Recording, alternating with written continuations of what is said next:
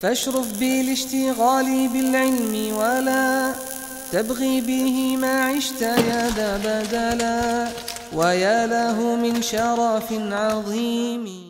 الحمد لله رب العالمين له الحمد الحسن والثناء الجميل وأشهد أن لا إله إلا الله وحده لا شريك له يقول الحق وهو يهدي السبيل وأشهد أن سيدنا ونبينا محمد صلى الله عليه وعلى آله وأصحابه والتابعين لهم بإحسان إلى يوم الدين أما بعد. إن شاء الله تعالى we're going to carry on the explanation of the book دفع إيهام الاضطراب عن آيات الكتاب written by الشيخ العلامة محمد بن محمد المختار بن عبد القادر الجكني الشنقيطي رحمه الله. We took the first apparent contradictions that is put forward and we responded to it. We're now going to move on to the second one. The Sheikh he chooses the second one from the second verse in Surah Al-Baqarah.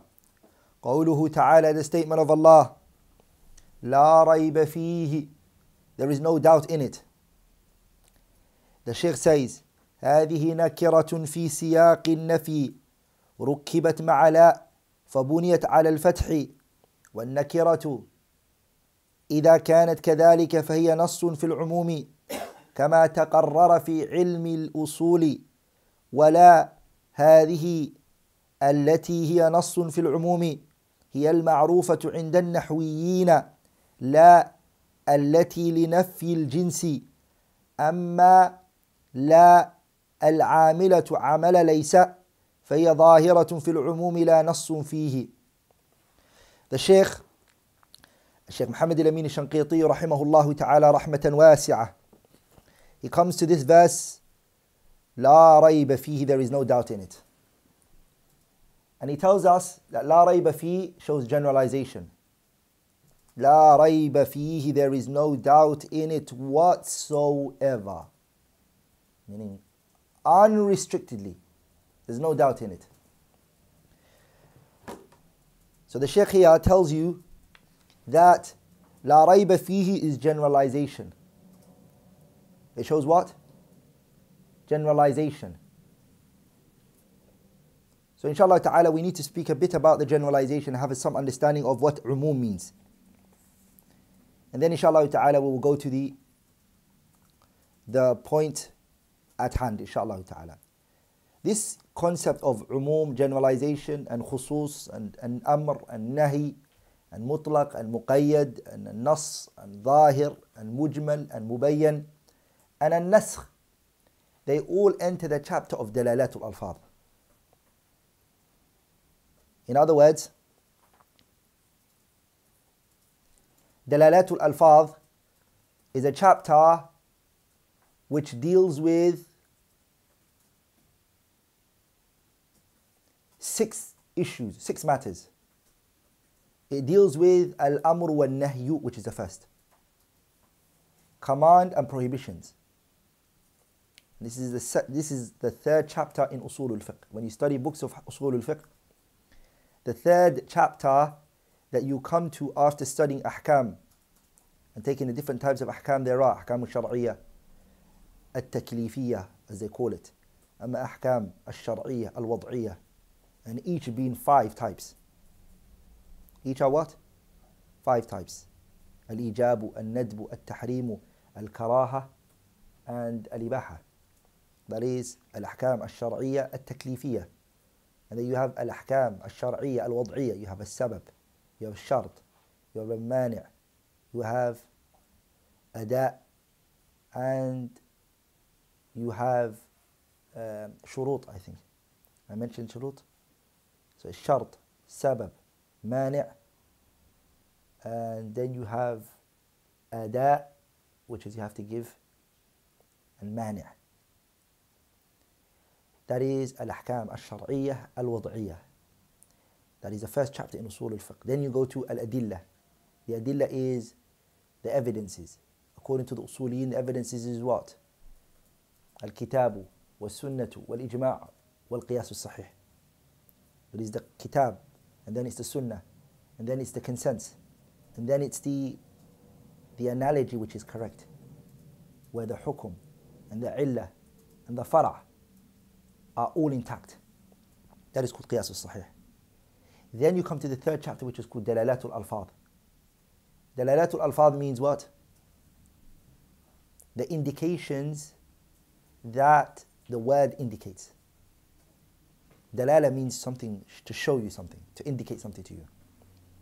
So it's called a, it's called the dalala, dalalatul alfad. And I said how many how many points are there? The first one is al amr wal nahyu, commands and prohibitions, and then you have al am wal khas, generalization and specification. Third, then you have, third third one you have al mutlaq wal muqayyad, which is unrestricted and restricted. And then you have al nasu wal zahiru, and nas means when something shows, and we're going to touch on that later, inshallah ta'ala. I'm not going to say what it means now. And nas wal zahiru. And then you have al mujmal wal mubayyan, which is ambiguity and clarity. And then last but not least, you have al nasru, abrogation. Now, if you look at what I've just said right now, you realize that the dalalatul alfaz, they indicate their meaning from what? Where have you taken the ruling from? The meaning or the wording?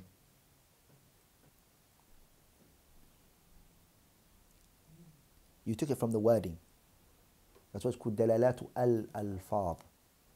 In usul al-fiqh, you have to remember, and I've said this once before, a faqih and an usuli is a person who knows when to observe the wording and to stick by the wordings and when to move away from the wordings and start to and move on to the meaning. Sah? So here, La rayba fihi, we have what is known as amar. We have an am, generalization.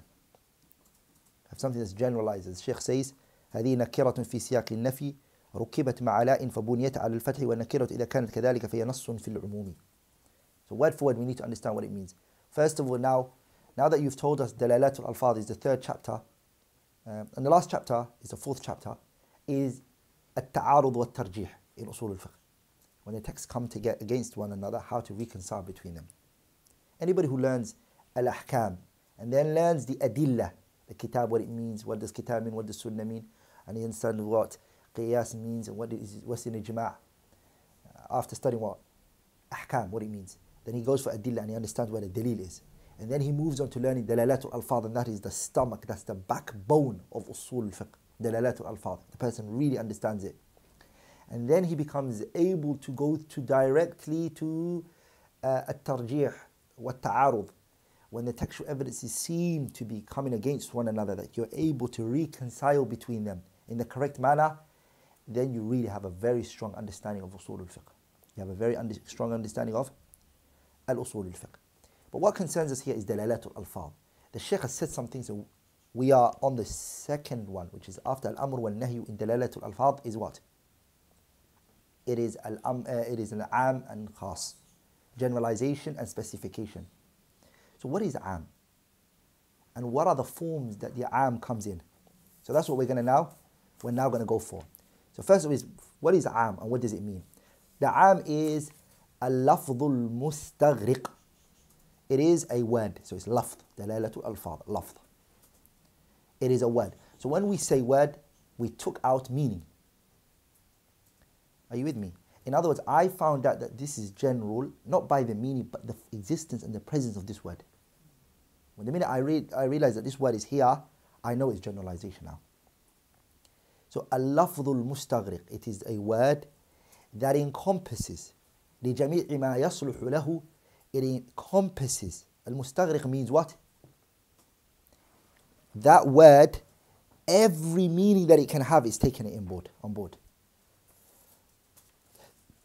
for example, if I use the word al-mushrik, you can't take any pagan or polytheist out of this. If I say al-muslim, if I say ar-rajulu, I mean all men. There's no man you can say, oh, what about a black man? I said ar-rajulu. You can't say a white man. I said ar-rajulu. The word is istighraq. I've chosen to... Does that make sense?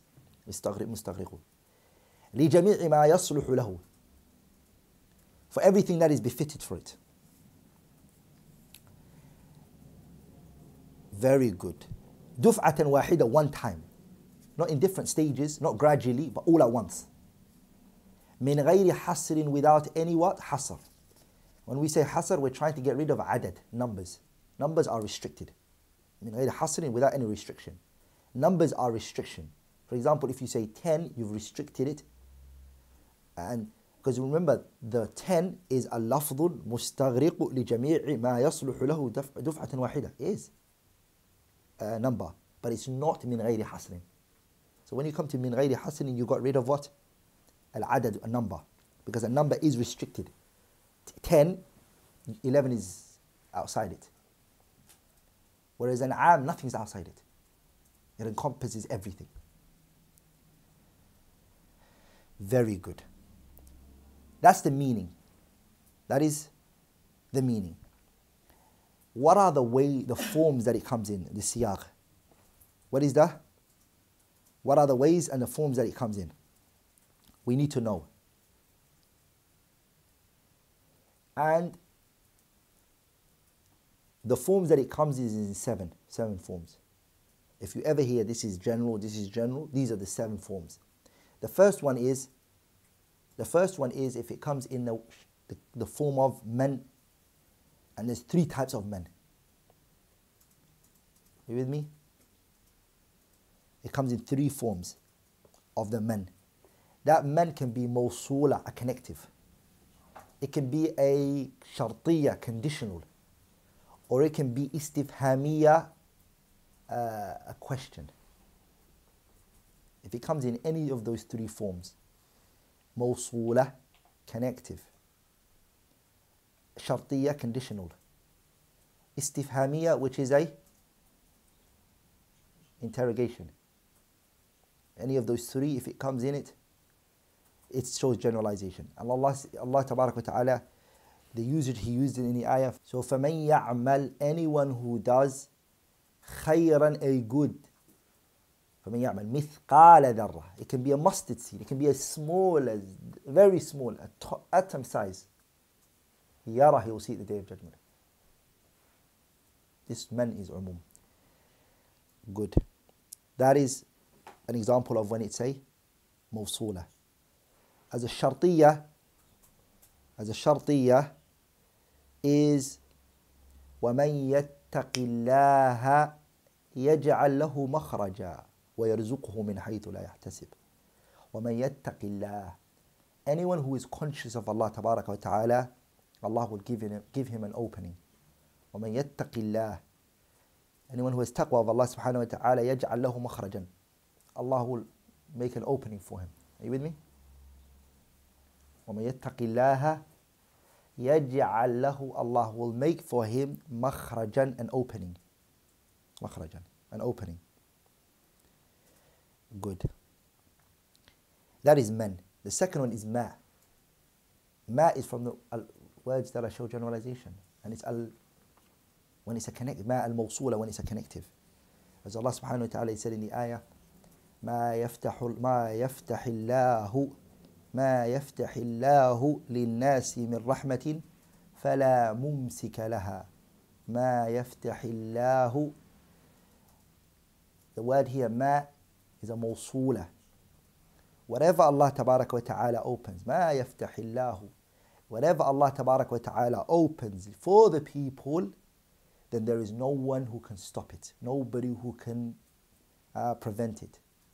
So if Allah chooses to give, so Allah says, Ma whatever Allah opens, there's no one who can come. So whatever. That what ma here shows generalization. The third one is al ism the one alladhi, and allati, and al alladhani. And anything that comes out of those words, they show generalization.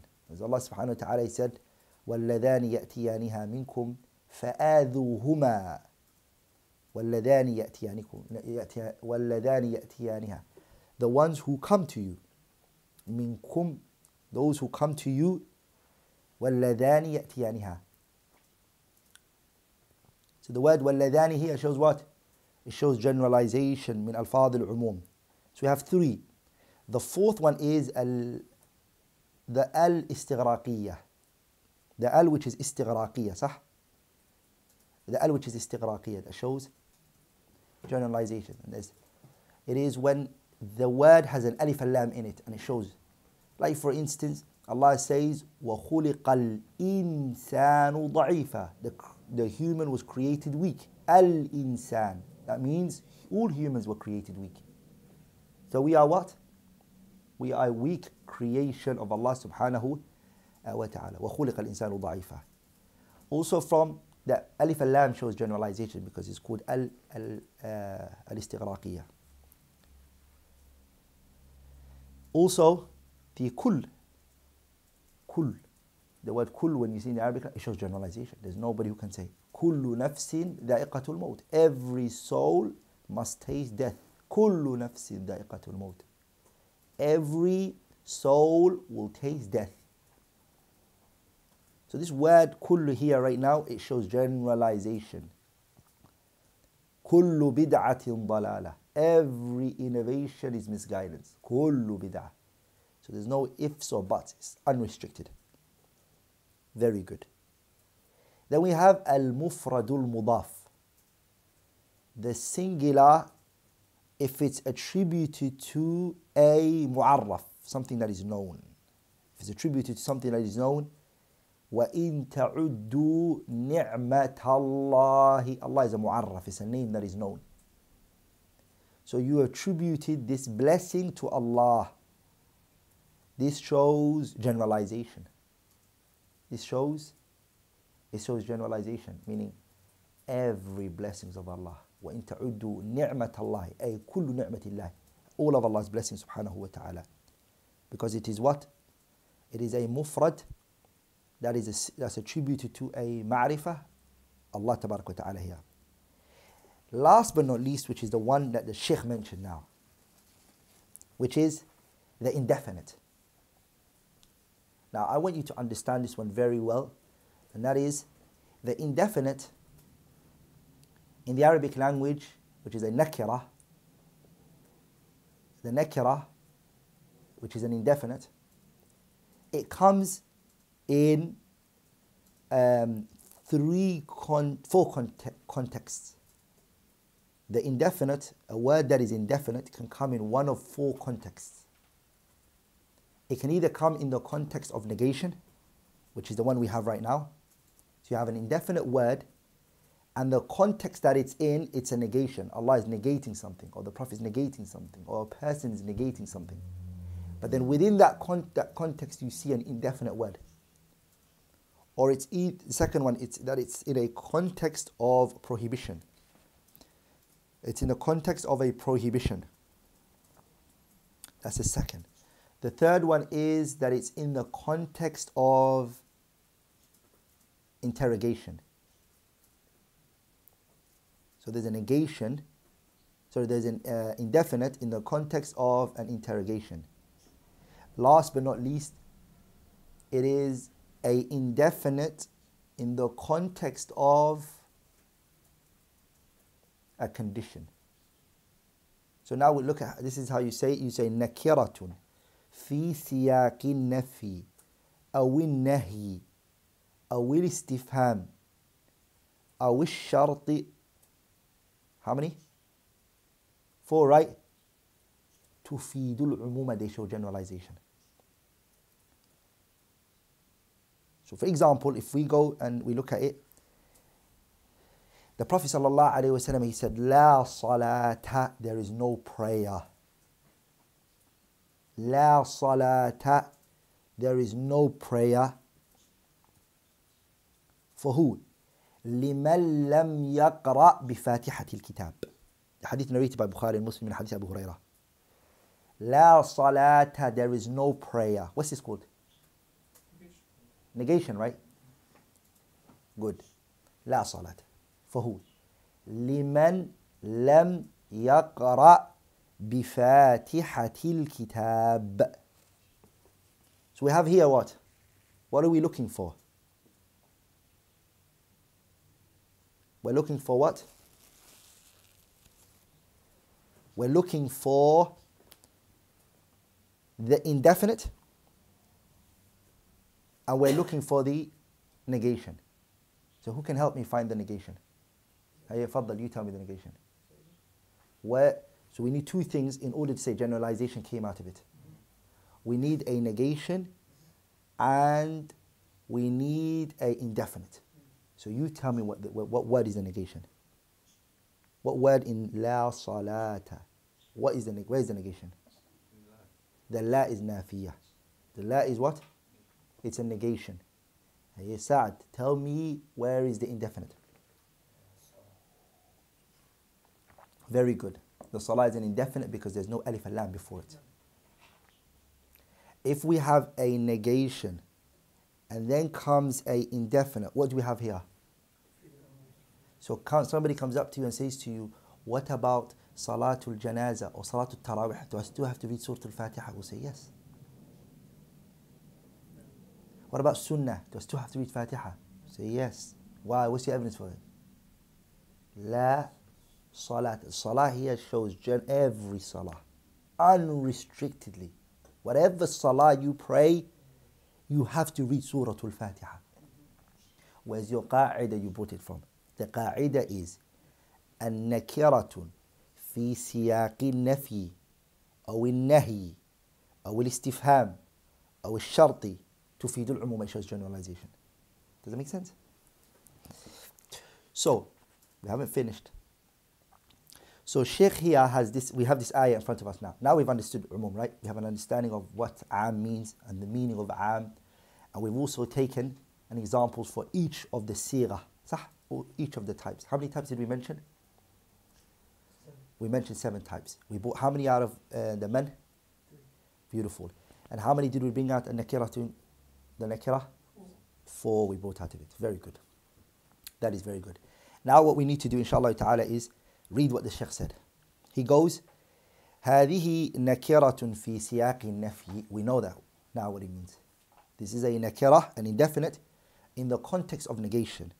ركبت مع لاء which has been compounded of the word, the letter لا. فبنيت على الفتح. And then it was what? It became مبني uh, with فتح. Very good. والنكرة إذا كانت كذلك فهي نص في العموم آه Sheikh is using technical terms وهذه عادته وديدنته This is his عادة and his ديدنة Sheikh his norms. This is Sheikh Muhammad Amin Shinqiti. You have to be. Sheikh Muhammad Amin Shinqiti was an usuli, mufassir, faqih. He had. Allah gave him all of this. So he would, he would go into grammar when he needs to, use what he wants from it. He'll go into balagha, he will use what he wants from it. He'll go to usul al-fiqh and he would. So he might say one sentence, but for us it requires hours of explanation. So he, he says, وَإِذَا كَانَتْ وَالنَّكِرَةُ إِذَا كَانَتْ كَذَلِكَ If the indefinite is like that, like what? In the context of negation. فهي نص في أن وركبت وركبت مع لاء he says فهي نص في العموم it is a nas in generalization what does that mean it's nas in generalization meaning it can't have any other meaning. It can never ever be a specification. Nas here means it is a hundred percent generalization. And this was one of the chapters I told you that we studied in Usul al-Fiqh, remember? دلالات الألفاظ, what did I say? الأمر والنهي الأمر والنهي, that's the first. The second was what? Al-amru, al-am wal-khasu. And then after that I said al-mutlaq wal-muqayyad. Then after that I said al-nassu wal-zahiru. And then after that I said al-mujmal wal-mubayyan. And then last but not least al-nasakh. So al-nas wal-zahir. Sheikh's going to bring the word al-zahir. This, the nakira, this type of nakira which is la rayba fihi, it is a nasun fil Do you know what a nas is? in the Arabic language, when Allah says in the Quran, tilka asharatun kamila. Numbers are nas. Can you take 10 in other, any other meaning? Well, Allah says this is 10 and it's complete. Tilka asharatun. This is 10 kamila, complete. Can somebody come and say, mm, 10, it means 9. هذا نص. That's the 10 is 10. صح? Are you with me? So here the Sheikh saying that the نكرة في سياق النفي إذا ركبت مع لاء ها فبنيت على الفتح فهي نص في العموم. It is a نص uh, in generalization.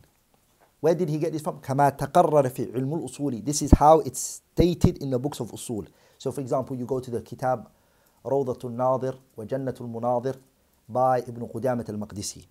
You go to the kitab شرح التنقيح الفصول written by Al-Qarafi Al-Maliki. You go to his book, himself, his book, which is his مذكرة في أصول الفقه. You'll find that this is um, this is present. This is present. But the Shaykh mentioned something else after this. كما تقرر في الأصول. ولاء هذا. So now, when we studied the نكرة في سياق نفي, from what angle did we study it now?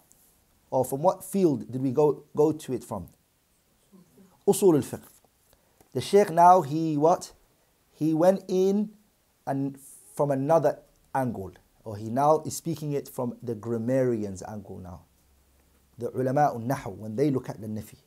So he said, ولاء هذه This la that we have in لا ريب فيه التي هي نص في العموم This one which is a nas in generalization This one that we have which is a nas هي المعروفة عند النحويين This type of nakira that we have with us in لا ريب فيه which is a nas in in umum it is known by the grammarians as the grammarians they call it النفي الجنسي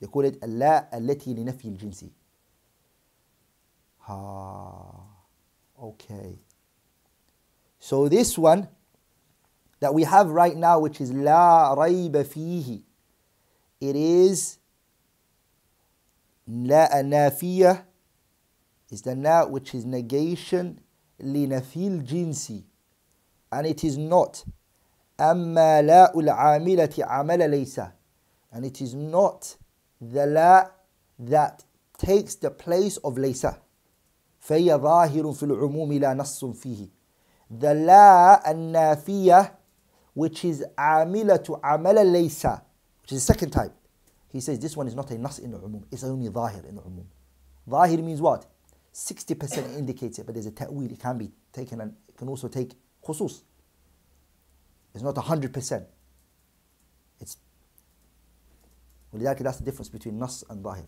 nas has the ظاهر sorry has the opposite of ta'wil the ta'wil is open they, even though the, the, the ظاهر is the apparent is more clearer huh are you with me like for example if I say رأيت الأسد I saw a lion the, the first ظاهر that comes to the mind what's the first thing that hits the mind actual lion right but there is, is there a possibility that I mean a brave person there is that percentage it's very low but the percentage is what? It's there. I saw a lion could mean a brave, courageous individual. Yeah. But the thing that hits the mind first is called ظاهر. يتبادر إلى الذهن. It hits the mind first. So the la, the la which is العاملة عمل ليس it is a ظاهر في العموم لا نص فيه. It is not a نص in it. So let me simplify this. The la, the ماء النافية Abdallah Nafiya is of two types. Are you with me?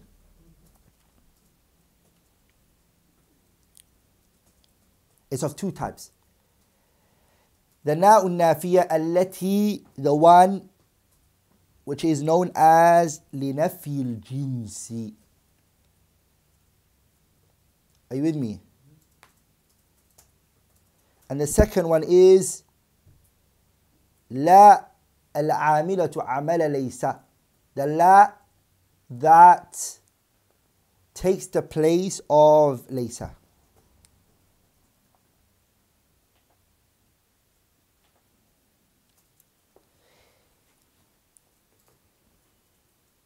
Are you with me?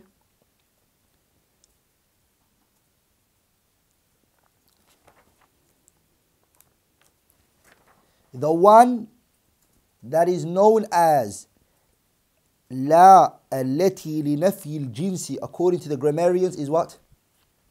That one it is umum is generalization. Like in its umum, how do we take it? By way of nas. Whereas al, the la which is al-amilatu amala laysa, the la that does the job of laysa. فهي ظاهر في العموم it just shows it by apparent but it's not a nas in it when do you, how do you distinguish between the la التي لنفي الجنسي the la which is نفي الجنسي and the la which is عاملة to عمل ليس how do you distinguish between it the grammarians they set five rules شروط five conditions they stipulated five conditions. When those five conditions are met, they said that the la here is amilatu amala laysa. If not, it is um, it is na which is not amilatu amala laysa. Now, inshallah ta'ala, I want you want, I want you to all to do your, to do your research. I want you to all find out what those conditions are and the way to identify one from the other inshallah I'll look at it tomorrow and then I'll explain it to you all بإذن الله الكريم tomorrow what it is inshallah ta'ala let's carry on the statement of the Sheikh وعليه and based on that فالآية نص في نفي كل فرد من أفراد الريب عن هذا القرآن العظيم So now that we've understood, my beloved brothers and sisters who are listening, now that we've understood that this la here, what type of la is it according to the grammarians? Na, na jamil, لنفي الجنس, right? Good. And according to the nuhat, what is it? According to the grammarians, this what is the la here? It is nafyun fi siyaqi, is nakiratun fi siyaqi nafyi تفيد العموم. It shows generalization. For them, this is am. This umum here that we have right now is what? Based on what angle do we take it? Is it from Zahir or is it, or is it from the Nas? Nas. Since this La Rayba Fih is Nas, and there's no way out of it, how do we reconcile it with the verses which say, وَإِن كُنتُمْ فِي رَيْبٍ مِمَّا نَزَّلْنَا عَلَى عَبْدِنَا فأتوا بسورة من, فأتوا بسورة من مثله if you are in doubt of that which we have sent down on our our prophet if you're in doubt of it and we have this ayah لا ريب فيه negating any doubt there could be in the strongest manner we just said it is nahi, is a nafyun a negation which is umum we've taken it by nas strong so how do we reconcile it? That's what the Shaykh is trying to do here. بإذن الله الكريم. Good. فالآية نص. This ayah is a nas. في نفي كل فرد من أفراد الريب عن هذا القرآن العظيم. That this ayah is negating every single individual and every single person on the face of this earth is removing, saying that he has, there's no doubt in the Quran regarding it.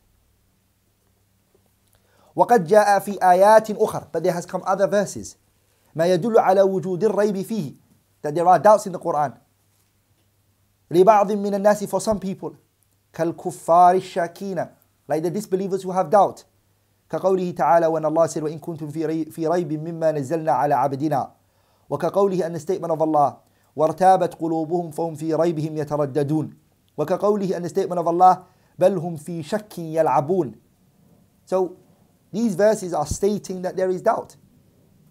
Allah says, وَارْتَابَتْ قُلُوبُهُمْ Their hearts, doubt has entered it. فَهُمْ فِي رَيْبِهِمْ يَتَرَدَّدُونَ They are regurgitating inside their doubt. بَلْ هُمْ فِي شَكٍّ يَلْعَبُونَ In their doubt, they are playing. So how do we reconcile between it? وَوَجْهُ الْجَمْعِ فِي ذَلِكَ The way to reconcile between that is أن القرآن بالغ من من وضوح الأدلة وظهور المعجزة ما ينفي تطرق أي ريب إليه وريب الكفار فيه إنما هو لعمى بصائرهم كما بينه بقوله تعالى This Quran is the clearest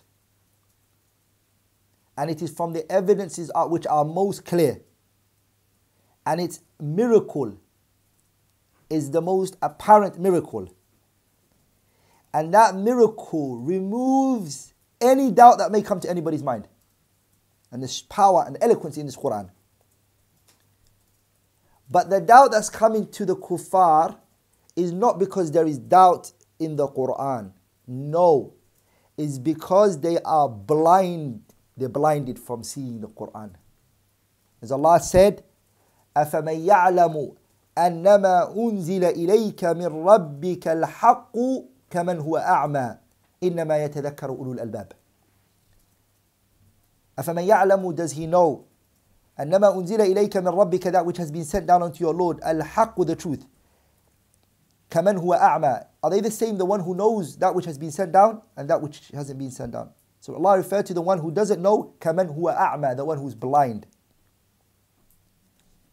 So Ibn Muhammad Amir Shinqiti says, فَصَرَّحَ بِأَنَّ مَنْ لَا يَعْلَمُ أَنَّهُ الْحَقِّ So the ayah clearly states that the one who does not know the truth أن ذلك إنما جاءه that this has come to him من قبل عماه it has come to him from his blindness ومعلوم and what is known is أن عدم رؤية الأعمى للشمس لا ينافي كونها لا ريب فيها لظهورها and what's also known is just because a person cannot see the sun and he's blind, he can't see the sun, it doesn't negate that the sun is clear and that the sun is out and it's shining. Just because you can't see it and you're blind, the sun is still bright and the sun is, is clear. So the Sheikh he brought the statement of the poet إذا لم يكن للمرء عين صحيحة فلا غرو أن يرتاب والصبح مسفر That if a person has a sick eye and he's blind, he can't see, he's got, he, has, he does not have a healthy eye, that it's not shocking and it's not something to be amazed the fact that he can't see even though the sun is out. This poetry, I looked and I don't know anyone who said it. I don't know who is it attributed to.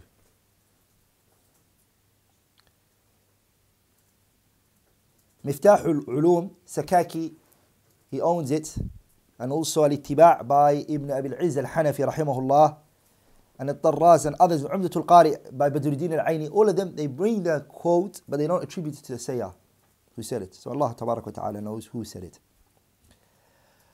وأجاب بعض العلماء and some of the scholars they responded by saying بأن قوله that the statement of Allah لا ريب فيه is a خبر أريد به الإنشاء they said لا ريب فيه is a خبرية لفظا إنشائية معنى لا خبر أريد به الإنشاء It is خبر in its construction but what is intended by it is إنشاء which is a command أي لا ترتابوا فيه do not have doubt in the Quran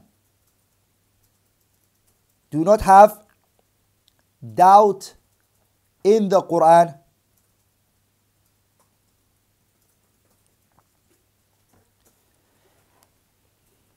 So it's not even a statement, it's actually a command.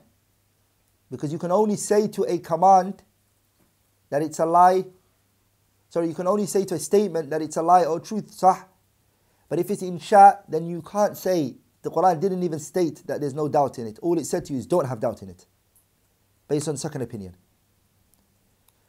And then the Sheikh said, أي لا ترتابوا فيه وعليه فلا إشكال فيه. And that, then based on the second opinion, there won't be no ambiguity or there won't be no doubt regarding it. There would be this problem.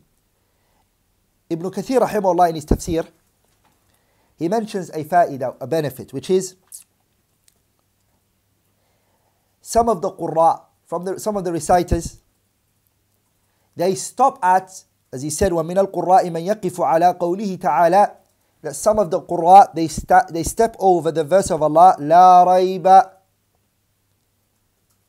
And then وَيَبْتَدِئُ بِقَوْلِهِ تَعَالَى And they start with, after that, فِيهِ هُدًى لِلْمُتَّقِينَ And this is, the, is done by Nafi' and Asim, as you would find it in Mu'jam al-Qira'at.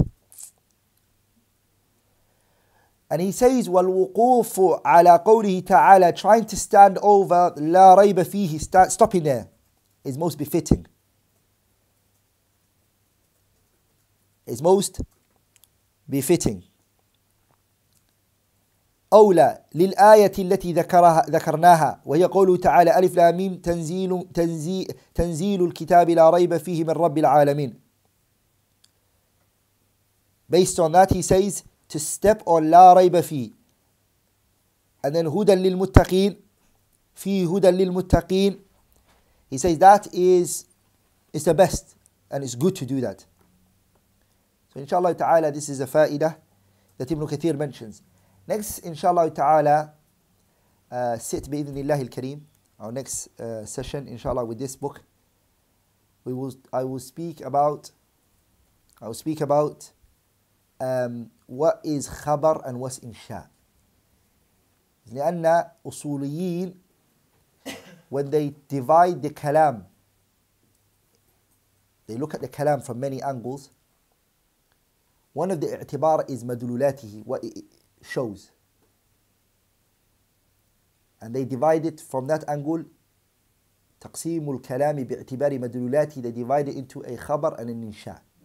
So inshallah ta'ala next session inshallah ta'ala before we go into the next one which is huda lil muttaqin we will go over what is khabar and have a good understanding of what khabar is and insha what is a good understanding of insha we'll do that bi'idhnillahi kareem next uh, lesson inshallah ta'ala don't forget the shurut of la النافية العاملة عمل ليس the conditions that are stipulated by the grammarians if you can bring them I will inshallah ta'ala make sure that I look at it بإذن الله الكريم سبحانك اللهم بحمدك أشهد أن لا إله إلا الله أستغفرك وأتوب إليك